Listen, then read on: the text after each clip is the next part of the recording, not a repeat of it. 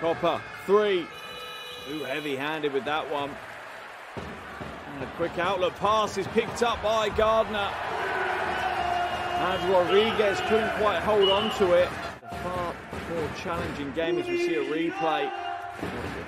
Rodriguez couldn't quite hold on to the Hail Mary. Rodriguez looking for options, but there really isn't much. Oh, uses the pivot beautifully for the score. Good attempt, but the trajectory is way too flat. Hopper rejected by Burke. Just stayed with the game, and you'd have gone odds on for Copper to get the score. She's done it how many times in her career? Certainly, uh, Girona have led for 27 minutes. Shot goes up, and it's good. What a time to hit a three. That will settle some Girona nerves.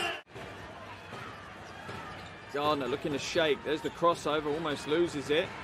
Shot goes up as a shot clock expires, and Rebekah Gardner drails a nail from the top. Well, efficiency wise, not there. And how does Gardner recover from that? Just composure. Nails the three. Shakes it, goes to the corner, elbow jumper, floats one up, no good. Labuckiene just reaches in and scoops it back. Gardner drives inside, gets the two. Rebekah Gardner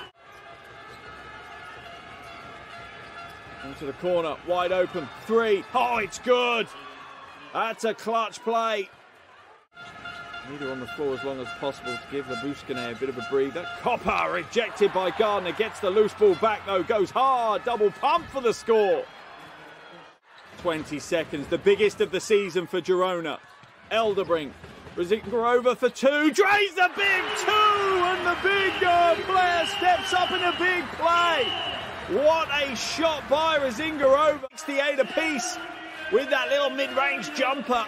Oh, look at Coach Iniguez in the background. Offsets the screen. Razingarova comes high. Ball now inside to Hof. Can she get a shot away? She can't, and we're going to overtime here in Girona. Burke now kicks it out. Eldebrink, no space for her to get the shot away. Labuckiene. Oh, nails a tough two, and Labuckiene once again steps in when she's needed and gets a big bucket, just her second of the night. Dominguez into the corner. Rodriguez for three. That one's missed. Fazula grabs the rebound. Out to Cazorla. Hits the three to tie the game. What a big shot by Cazorla. One minute to play. Gardner kicks it out to Flores. Has to go to work and gets the score. Flores steps up, just her second bucket of the game, and what a time to score it. Eldebrink now drives inside, kicks it out to Burke. Burke looking to find Gardner. She's going to go against Dominguez. Tries to bully her way to the bucket. The foul is called.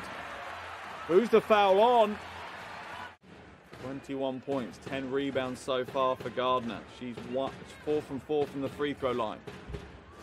Make that five from five. Smiles on the faces of the Girona players. Know they're close. It's almost nervous smiles, though, to be fair, and connects with the second. She'll go this side. Long pass in. Got to take the shot. They get the scoop away. It's not going to be enough. And Girona secure the huge win. They keep their European dream alive. And in an amazing fashion. What a game for the home team. The fans in the stands are on their feet, bouncing. The entire arena is bouncing here as Girona have forced this one to a third game. Their hopes of making it to their first ever Final Four are still alive. The final score here in Girona Girona 81, Avenida 79.